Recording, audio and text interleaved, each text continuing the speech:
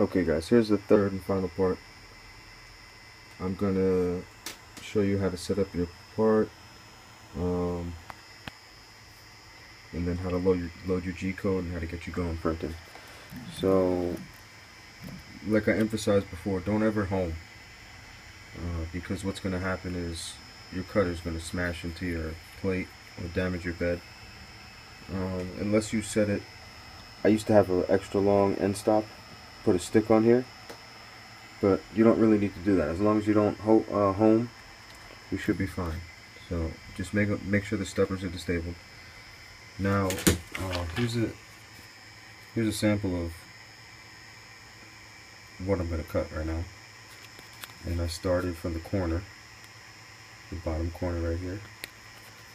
And the quality's oh it's actually great but it looks messed up because there's something else in the back so um, yeah just ignore those little chips in there and stuff. But yeah I'm gonna do it right now on a brand new piece of wax so you should be able to see um, exactly what to do.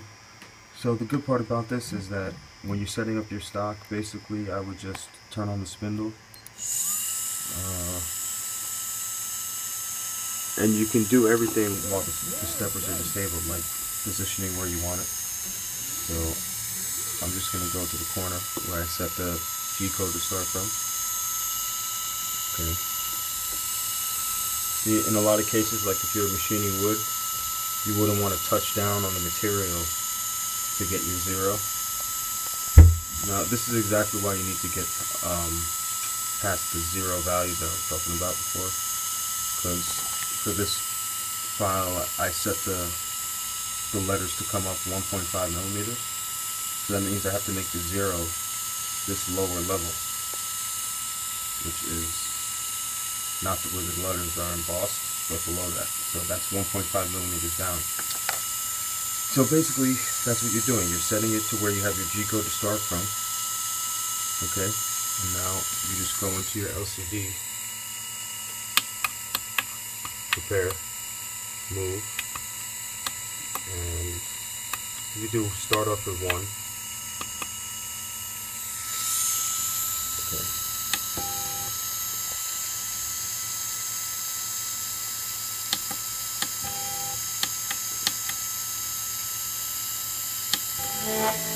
Okay, well, a bit too much, but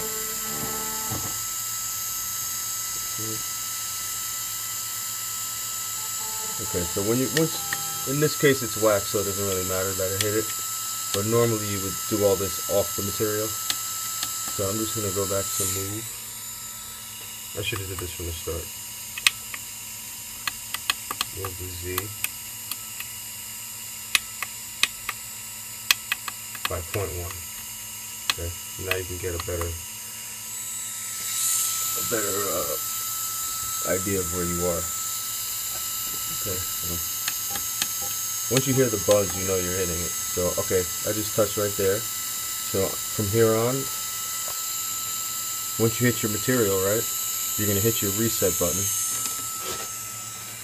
Yeah, my main board cover has a a reset button built in, so because it's hard to access it if you have one of those covers on it. So you might have to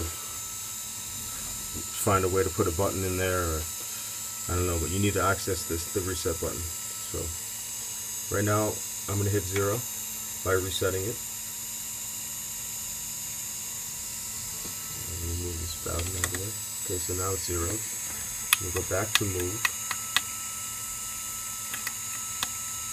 Point one. Okay. So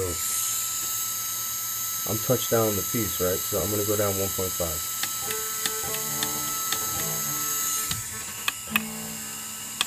That's 0.5, 0.6, 0.7, 0.8, 0.9, 1. Yeah, I can do this because it's wax. Alright, so now that I'm down to the height that I'm supposed to be at, Normally you should do this off the piece, but it's fine because it's waxed. You hit the reset button. Okay. Now if you look, It was at one point negative 1.5 before. Now everything's zero. That's the way it should be. And now I'm gonna go in, load the G code.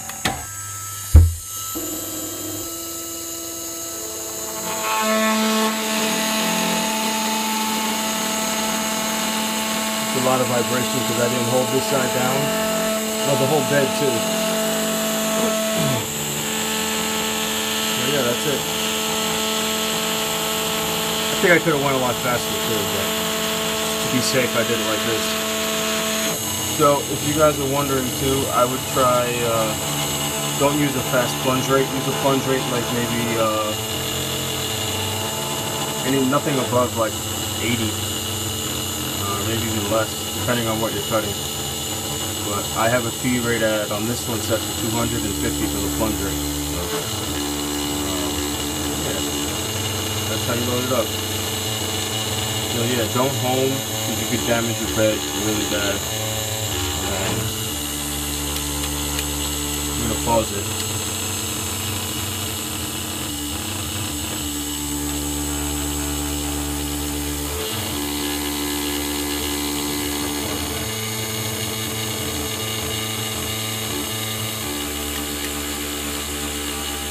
It's not pausing right now, I don't know why. But, uh,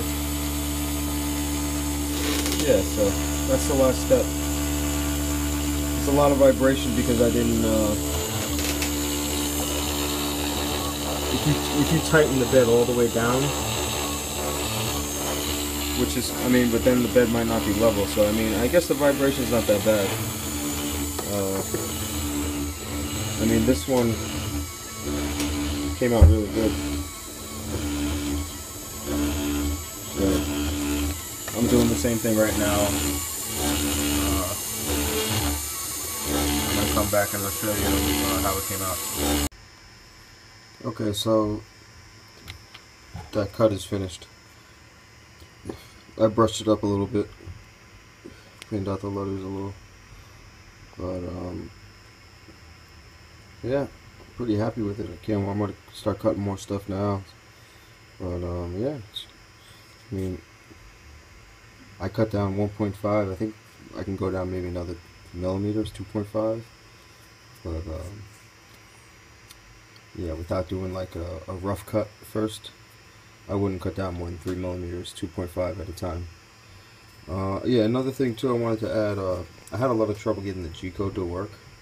So if you have any problems getting the G-code to work, I'm going to put in the description the, the start code I'm using that will work on this printer. So it took me a long time to figure that out. Um, you could try with the, whatever CAM software you're using, but pretty sure you might have to paste in the code that I'm going to leave you. So um, yeah, I hope this helped out. This is the last step. I mean, after you do all these steps, you should be on your way. I mean, if you just if you're a beginner, be really careful because you know homing stuff and like even what you set in the program can make the spindle hit something. So you got to really know, have an idea of where you're starting and where it's going to do, uh, what it's going to do. I mean, the best way I would do to test stuff on like uh, foam or just even in the air, just to see what it's going to physically do before you have like metal obstructions in the way. Um, just you know, just to put that out there, because you could damage damage your bed, damage the spindle. Um, most likely damage up here. This whole area might get bent up. So yeah, just be careful what you're doing. And if you have any more questions, just uh, leave the comments. Thanks guys. Hope this helped out.